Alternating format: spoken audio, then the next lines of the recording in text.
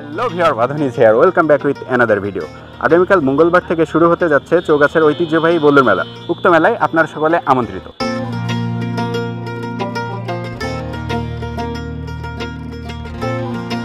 ভাদ্র মাসের শেষ মঙ্গলবারে এই মেলাটা হয়।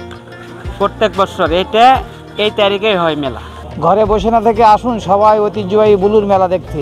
প্রতি বছর এই বছরও মেলা খুব জমজমক হচ্ছে খুব ব্যথা চৌগাছা হাজরাখানা প্রতি বছরে এই মেলা উদযাপিত হয়।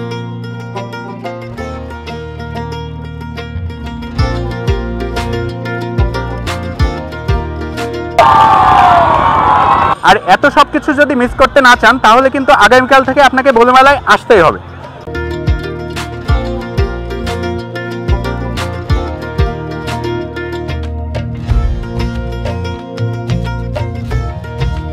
সুতরাং বলুর মেলা এবং এই নিয়ে নিয়মিত কন্টেন্ট পেতে আমাদের বাঁধনি হেয়ার পেজের সাথে থাকুন এবং লাইক কমেন্ট সাবস্ক্রাইব করুন। ধন্যবাদ।